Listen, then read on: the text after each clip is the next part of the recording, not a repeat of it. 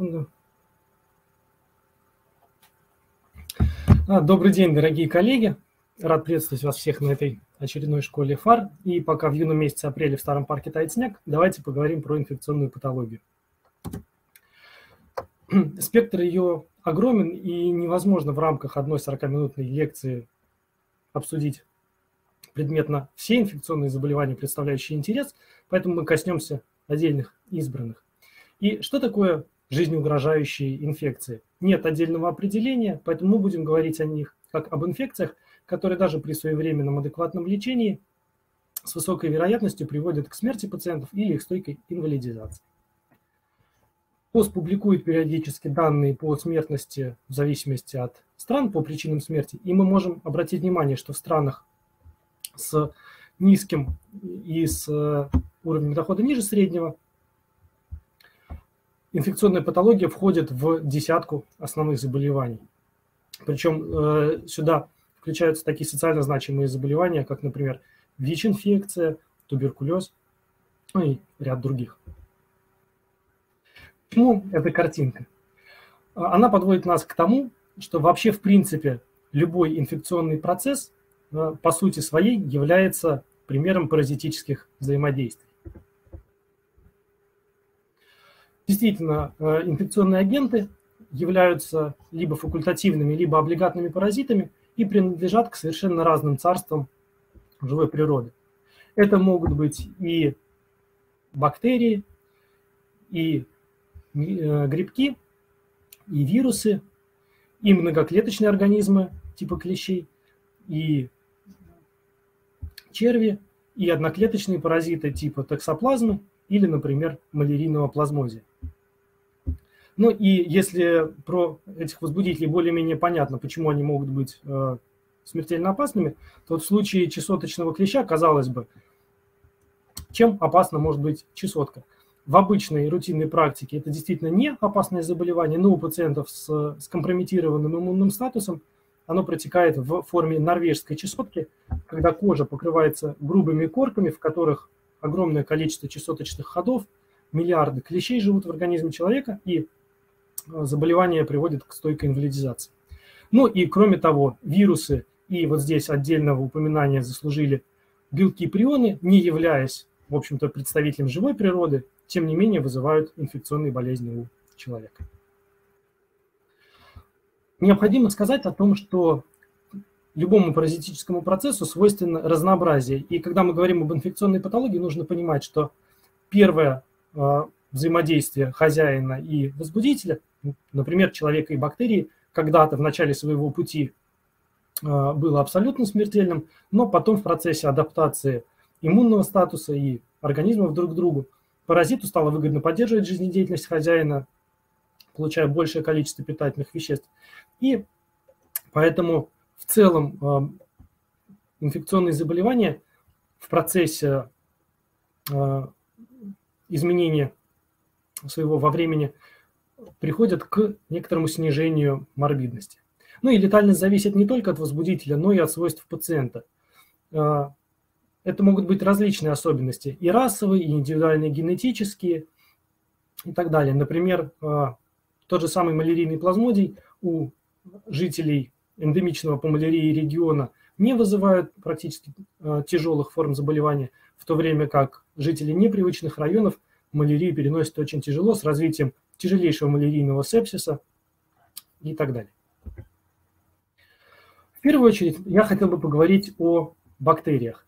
Ну, потому что это и наиболее наглядные, и привычные, известные, хорошо изученные возбудители. И потому что, когда мы говорим в рамках различных школ, вообще встречаясь с докторами друг с другом об инфекционной патологии, мы говорим о бактериях, как правило, что э, возникает в голове? Клепсиела пневмония, стафилококус ауреус, ну, ацинетобактер, то есть те возбудители, которые приводят к нозокомиальным поражениям, гибели пациентов в стационаре и так далее – но этим ведь не исчерпывается список состояний бактериальных инвазий, которые угрожают смерти пациента. Мы поговорим о тех возбудителях, которые вызывают менингиты, а, пневмонии, но не только пневмонии. Есть возбудители, которые вызывают очень тяжелые кишечные инфекции, приводящие к смерти и так далее. Кроме того, сепсис, анаэробная инфекция мягких тканей, столбняк, псевдомембранозный колит. Все эти заболевания, будучи вызваны различными бактериальными возбудителями, приводят к смерти пациентов. Но вот об анаэробной инфекции, о сепсисе отдельно мы сейчас не будем говорить, поскольку сепсис обсуждается вообще постоянно на всех э, съездах, уже всем надоел, а анаэробная инфекция требует описания хирургических тактик и так далее. Ну и э, нужно сказать обязательно еще и об антибактериальной терапии. Она должна быть э, адекватна возбудителю и э, кто не знает, в Телеграме есть у больницы коммунарки лекторий, и в рамках этого лектория был создан бот. На слайде вы видите QR-код, его можно отсканировать с помощью телефона и добавить себе. Этот бот построен на логике системы контроля антибактериальной терапии, которая называется SCAT. И э, после введения туда каких-то данных о пациенте, о его состоянии, он предлагает вам э, варианты антибактериальной терапии. Конечно, это не руководство к действию, но очень удобное подспорье. Пожалуйста, вот коммунарка предлагает всем совершенно бесплатно пользоваться плодами их трудов. Список бактериальных инвазий огромен. И, конечно, мы всех их не сможем коснуться. Но э, давайте посмотрим. Это может быть и менингококковая инфекция, и пневмококковая, и туберкулез, острая кишечная инфекция. Казалось бы, банальный диарейный синдром и рвота, но нет. Среди них есть и совершенно смертельные тяжелые сальмонеллезы, тяжелые шигелезы протекают э, с инвалидизацией пациентов, и это не обязательно ТИФ, а про, даже просто сальмонеллез, вызванный не сальмонеллой ТИФе, может приводить к тяжелой, тяжелым последствиям для пациентов. Пищевые токсикоинфекции, казалось бы, при чем тут смерть пациентов? А к ним, между прочим, относится ботулизм, очень тяжелые а, в случае большого поступления токсина в организм заболевания, которые требуют длительной респираторной поддержки и сопровождается своими особенностями. Лептоспироз, болезнь, которая не на слуху, и периодически даже о ней говорят как о забытой болезни, но нет. А, достаточно искупаться в незнакомом водоеме в Ленинградской области, чтобы получить риск возникновения лептоспироза. Листериоз. Как говорил нам Артур Конан Дойль, держитесь подальше от торфяных болот, и это совет на все времена – меньше риск заражения. Столбняк, чума, сибирская язва – все эти заболевания могут приводить к гибели пациента. И я бы хотел остановиться, наверное, наиболее подробно на менингококковой инфекции, поскольку она и очень осязаемая. Это то, с чем вы можете легко столкнуться, во-первых, а во-вторых, она, с одной стороны, хорошо поддается лечению, а с другой стороны, есть тяжелые формы, которые приводят к гибели больных. Вызывается диплококком Neisseria meningitidis, и у большинства пациентов, если это заболевание протекает в виде клинически выраженной формы, она протекает как просто носительство. Ой, прошу прощения, не носительство, а назофарингит. Но э, назофарингит э, жизни не угрожает, а вот менингит, менингококковый и менингококцемия – это тяжелейшие заболевания, которые могут привести к смерти. Другие варианты клинической манифестации заболевания не столь значимы. Инкубационный период, как у многих инфекционных болезней, от недели до двух, вот, э, ближе к 10 дням, иногда, иногда 2-4, в зависимости от э, тяжести поражений. Начинается с гриппоподобной симптоматики, а в дальнейшем прогрессирует в зависимости от клинической формы. Если это менингит, то сопровождаясь э, общемозговой и менингальной симптоматикой. Если это менингококцемия, то иные симптомы о них дальше скажем летальность при менингококцемии до 40%, при фульминантных формах до 100%. И у существенной части реконвалесцентов, 5% это много, каждый 20 э, имеют место стойкие последствия после перенесенной болезни, вплоть до потери конечностей из-за ишемии и некрозов, э, неврологический дефицит и различные повреждения головного мозга. Патогенез заболевания. Возбудитель сначала попадает на слизистую носоглотки, колонизирует ее, проникает вглубь, и дальше возникает бактериальная э, гематогенная диссеминация. При этом бактериемия редко бывает стойкой, как правило, транзиторная, и дальше э, клиника зависит от того, где наибольший э, прогресс бактерий имеет место. Либо назофарингит, либо менингит, либо менингококцемия. Дальше реализуется иммунный ответ, который приводит к лизису бактерий, а это сопровождается выходом большого количества эндотоксинов в кровь, активацией системы комплиментов, комплимента, каликроинкининовой системы, выброс медиаторов воспаления. И дальше, если этот иммунный ответ не удается отрегулировать, то это приводит к прогрессирующему поражению с формированием ДВС-синдрома, полиорганной недостаточности и гибели пациента. У реконвалесцентов сохраняется, как правило, напряженный стойкий иммунитет. Говорим о клиническом течении. Сначала мы коснемся менингита, и, как я уже сказал, основными его проявлениями будет общемозговая и менингиальная симптоматика.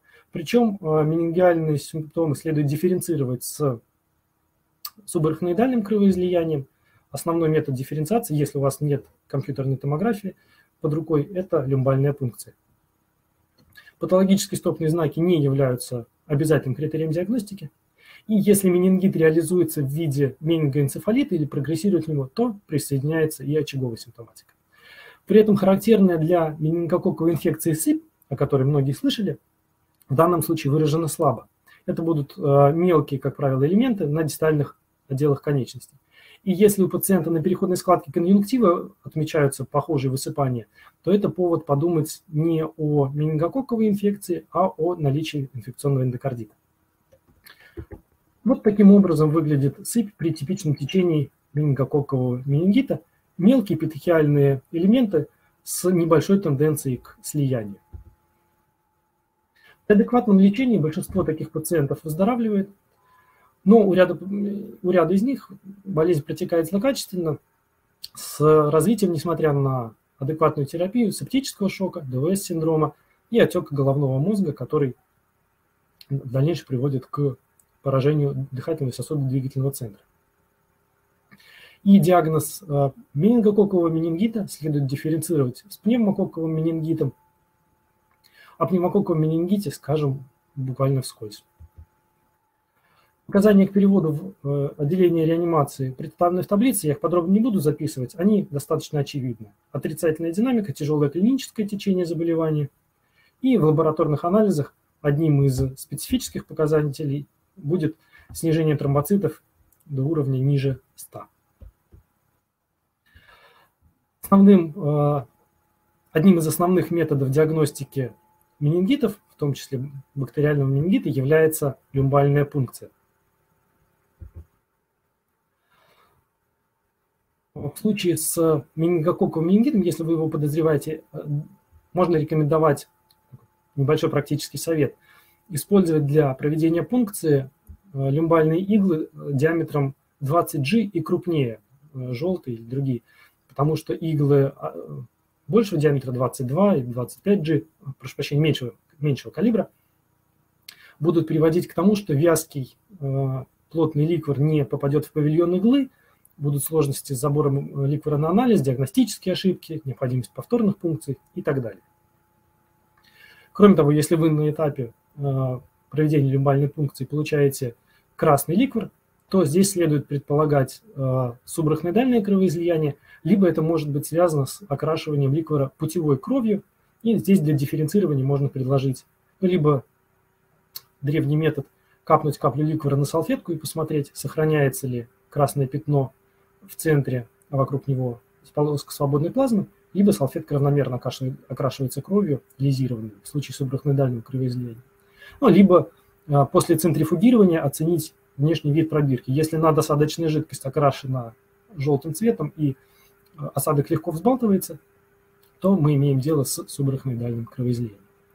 В случае менингококкового менингита цвет ликвора белесовато-желтый, цитоз его, то есть количество клеток в микролитре, составляет около 500 клеток на микролитр, либо если лаборатория выдает ответ в третях, то полторы тысячи третей.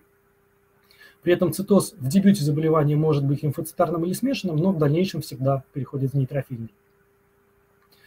Белок в ликворе повышен, уровень глюкозы будет сниженным, но если нормальный уровень глюкозы в крови в половину меньше, чем, э, прошу прощения, в ликворе меньше, чем в крови, то в случае менингококкового менингита снижение глюкозы будет умеренным, она не, не будет нулем. И кроме того, если у пациента с сохранным сознанием полностью ясным отмечается во время люмбальной пункции многотысячный цитоз или даже бесчетный, то это должно наводить вас на мысль об эпидурите, поскольку при течении менингита многотысячный цитоз а, не, не отмечается у пациентов с сохранным сознанием. У них всегда будут те или иные э, варианты его нарушения. Ну, показания и противопоказания представлены в таблице. И я хочу сказать, что в файлах, которые приложены к трансляции, можно взять эту лекцию, скачать и ознакомиться с ней подробнее. Говорим о лечении. На первом месте стоит адекватная и своевременная антибактериальная терапия.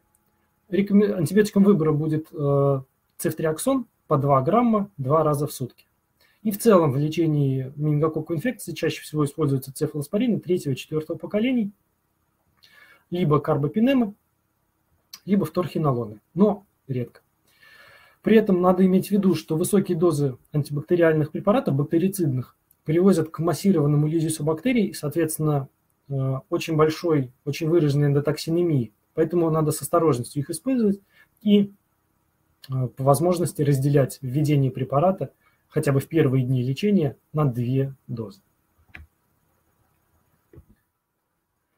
Что касается других аспектов лечения, у пациентов с психомоторным возбуждением или у тех, которым требуется э, по ряду причин респираторная поддержка, необходимо проведение медикаментозной седации, в том числе и для снижения метаболизма в центральной нервной системе. Но надо каждый день проводить диагностические окна для оценки статуса этих пациентов.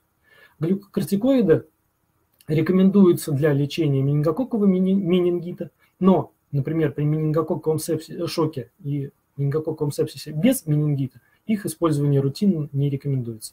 Доза составляет 8 мг 4 раза в сутки начальная с постепенным снижением. Кислородотерапия, конечно, да.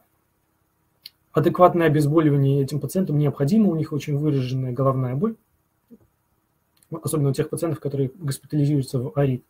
И, и целью респираторной поддержки является э, поддержка, протезирование функции дыхательного центра при тяжелом течении менингита с поражением дыхательного центра, либо при развитии бульбарной симптоматики интубация трахеи для защиты дыхательных путей. Особенных сложностей с подбором параметров ИВЛ у этих пациентов не возникает, как правило. Ну а сроки респираторной поддержки зависят от тяжести заболевания. И кроме того, здесь хотелось бы еще поговорить о таком исходе а, у этих пациентов при, э, как полиурия. При обратном развитии заболевания у этих пациентов э, регулярно, закономерно наблюдается полиурия, патогенез которой, скорее всего, связан с отеком гипофиза, с нарушением его секреции и, соответственно, с низким количеством антидиуретического гормона. Как правило, уровень достигает 12-15 литров в сутки, но в моей практике был, была пациентка одна, которая после менингококкового менингита э, вышла на уровень полиурии максимальный 64 литра в сутки. Э, мы, конечно, не успели догнать все 64 литра инфузии, но у нас одна медсестра сутки провела с одним пациентом в боксе, прямо в бокс мы притащили огромное количество инфузионных сред, и вот в 4 струи Э, проводили инфузионную терапию у пациента. У нас тогда не было аналогов вазопрессина, но на следующий день его принесли, добыли родственники, я уже не помню. И э, буквально за два дня полиурия снизилась до 20 с небольшим литров, а потом постепенно мы вышли на нормальный диурез. Дозы десмопрессина зависят от э, применения. Если это пероральный прием, то это 1,2 мг один раз в сутки начальная доза. Э, при необходимости можно увеличить. Ну, интраназальные дозы меньше. Параллельно с этим проводится инфузионная терапия в объеме коррекции водноэлектролитного и кислотно-основного равновесия. И контролировать КЧС нужно не реже 4 раз в сутки, но максимальная частота не регламентируется. И теперь поговорим о менингококцемии, как одной из самых тяжелых, быстро прогрессирующих инфекционных патологий. Форма злокачественная сопровождается быстро возникающей и нарастающей, иногда, если это фульминантной формы, э, инфекции, прямо на глазах сыпь покрывает э, тело пациента. У нас были пациенты, которые поступают в стационар в приемное отделение без сыпи, но уже в течение двух часов тело их покрывается вот такой вот крупной кляксообразной некрасивой сыпью. здесь нужно отметить, что важной особенностью менингококковой инфекции э, в виде менингококцемии является то, что у этих пациентов практически никогда не, не встречается клинически выраженный менингит. То есть э, они остаются в сохранном сознании до момента наступления полиорганной недостаточности, когда уже требуется седация, когда сознание угнетается за счет токсических эффектов, но не за счет развития менингита. И чем быстрее прогрессирует сыпь и чем ближе к голове возникают высыпания, тем тяжелее протекает болезнь, тем быстрее. И заболевания, аналогичные кожным высыпаниям, э, высыпания, аналогичные кожным геморрагиям, наблюдаются и в различных внутренних органах. Наиболее тяжелым э, из поражений таких является синдром Уотерхауза-Фредериксона, котором скажу буквально через несколько секунд. Хотел бы представить вашему вниманию фотографии пациента с типичной сыпью при менингококцемии. И обратите внимание на выраженную ишемию дистальных конеч... отделов конечностей. Это паци... Этот пациент в дальнейшем э, выжил, но у него э, на одной э, руке были ампутированы э, пальцы, вторая кисть э, сохранила свою функциональность в ходе заболевания вот такие вот крупные пятна появляются, и сыпь обнаруживает тенденцию к слиянию. Видны высыпания на роговице, не только на конъюнктиве, но и на роговице, на лице. Вот так выглядит менингококцемия. Синдром Уотерхауза Фредериксона. Геморрагический альвеолит, который в результате кровоизлияний в надпочечнике приводит к нарушению синтеза эндогенных катехоламинов – соответственно, вызывая рефрактерный шок со стопроцентной летальностью. В целом лечение менингококцемии такое же, как и менингококкового менингита. На первом месте антибактериальная терапия, далее инфузионная, в зависимости от потребностей пациента. Конечно, применяется вазопрессорная и иногда инотропная поддержка, но вот здесь глюкокортикоиды для рутинного применения не рекомендованы. И, как уже сказал, у этих пациентов может развиваться тяжелая, вплоть до гангрены, ишемия конечностей, поэтому им периодически требуется консультация кардио, ну, не кардио, сосудистых хирургов для решения дальнейших вопросов. И скажем о профилактике этого состояния, потому что вообще особенностью инфекционной патологии является то, что ее можно качественно профилактировать. И не будем сейчас спускаться в диспут о вреде и пользе прививок, потому что, конечно, они полезны. А, поговорим о вакцинации. Существует прививка против менингита, она вызывает а, группоспецифический иммунитет, который сохраняется в течение трех лет. Есть постконтактная профилактика менингококковой инфекции, которая редко бывает необходима, ее редко назначать, но тем не менее, если родственники пациента, живущего с ним, интересуются, как можно себя обезопасить, им можно рекомендовать одну из приведенных на слайде схем. А, и далее мне хотелось бы сказать, мы перейдем сейчас к другим возбудителям, еще а, пару слов про пневмококковую инфекцию, которая тоже вызывает а, выраженный менингит и пневмонию. Если у вас поступает пациент, у которого имеет место пневмония, и, кроме этого, клинически манифестирует менингоэнцефалит, у этого пациента с высокой вероятностью этиологическим фактором будет пневмококковая инфекция. И э, контингент, у которого повышенный риск по развитию менингококковой, пневмококковой инфекции, это пациенты с, компрометированным иммунным статусом. Поэтому пациенты с ВИЧ-инфекцией и пациенты с, с пленэктомией в анамнезе – должны в обязательном порядке вакцинироваться от пневмококковой инфекции, потому что у них она как раз протекает в виде очень тяжелого менингита.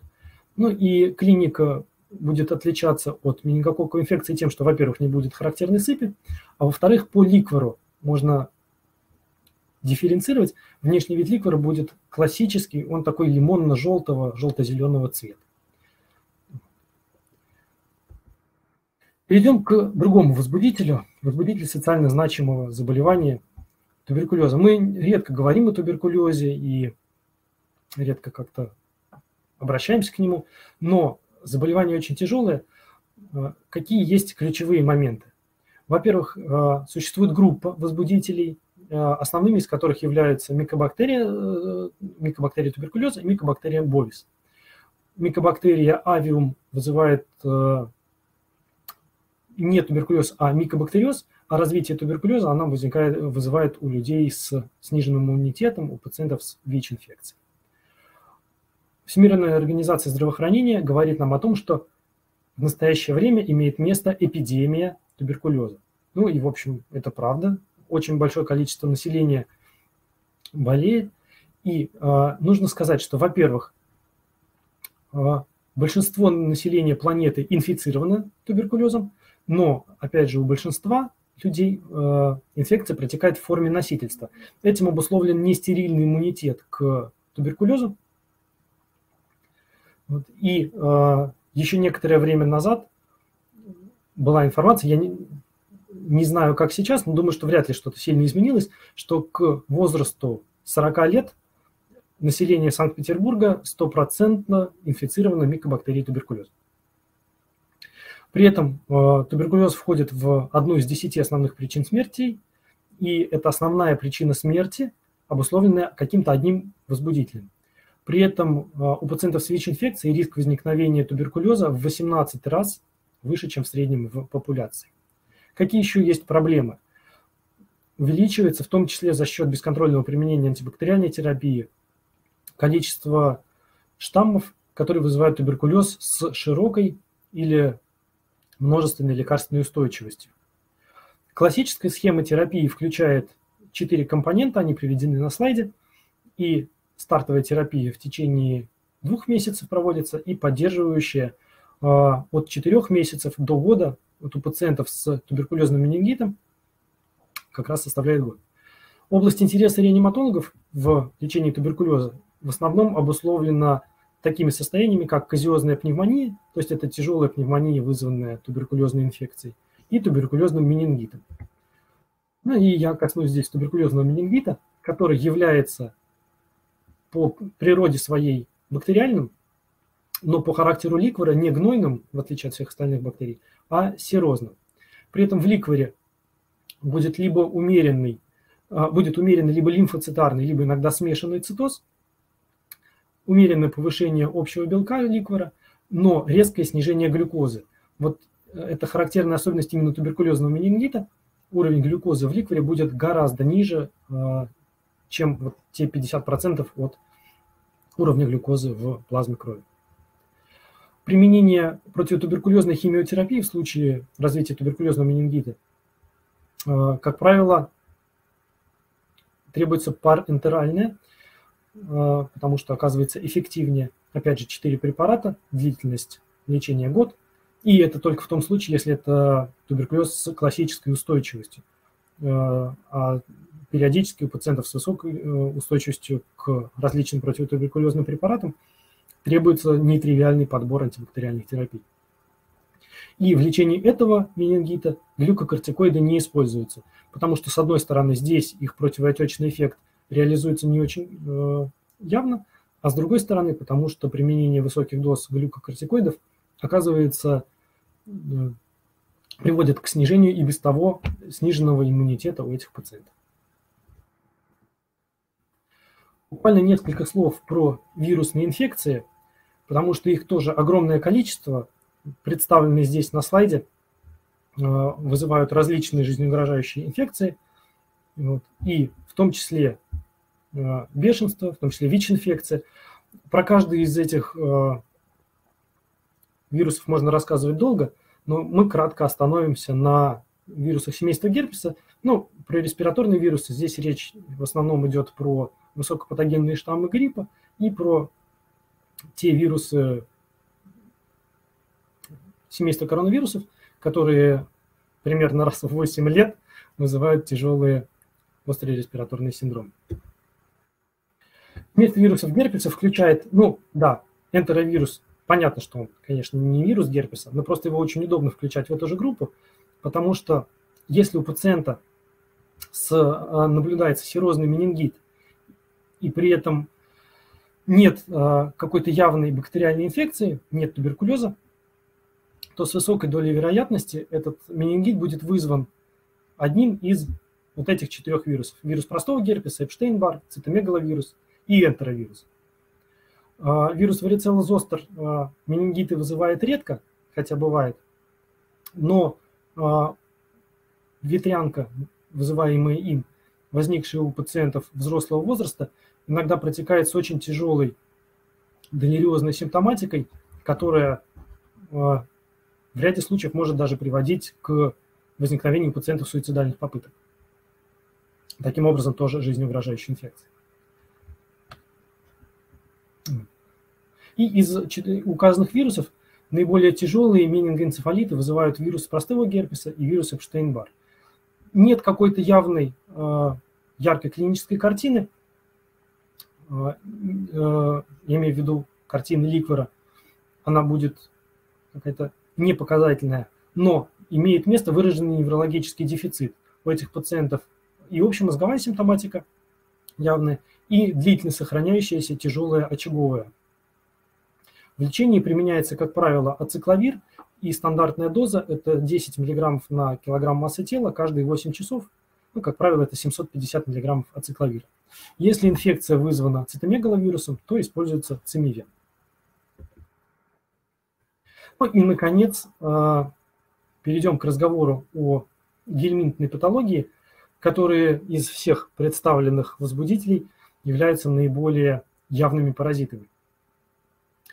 И коснемся, опять же, гельминтозов невероятное количество. Я хотел здесь остановиться на эхинококковой инвазии. Человек в случае инфицирования эхинококком является промежуточным хозяином возбудителя, и на слайде представлен жизненный цикл эхинококка, в котором показано, как человек, употребляя инфицированные, ну, каким-то образом в организм э, перорально попадает яйцо возбудителя.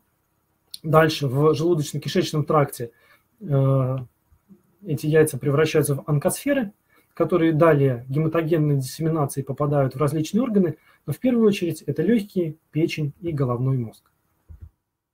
Симптомы зависят от локализации гельминта. Соответственно, если кисты формируются в печени, то возникают э, э, абдоминальные симптомы, желтуха, но редко возникает выраженное увеличение трансаминаз. Кисты в легких приводят к боли в груди с формированием кровохаркания, в головном мозге, соответственно, будет ярко выраженная очаговая симптоматика.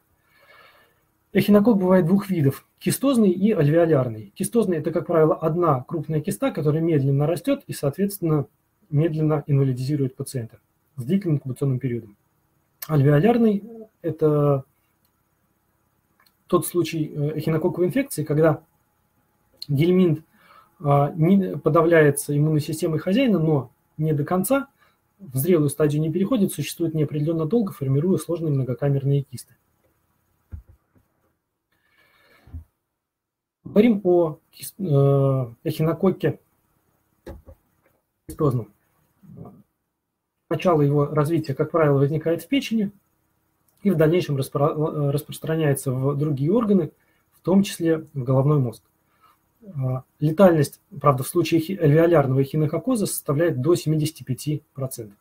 В диагностике используются лучевые методы исследования, анализ кистозной жидкости, серологические тесты, а лечение данного заболевания преимущественно хирургическое. Иногда используется химиотерапия албендазолом, но не всегда. И э, сама по себе эта терапия не является отдельно эффективной.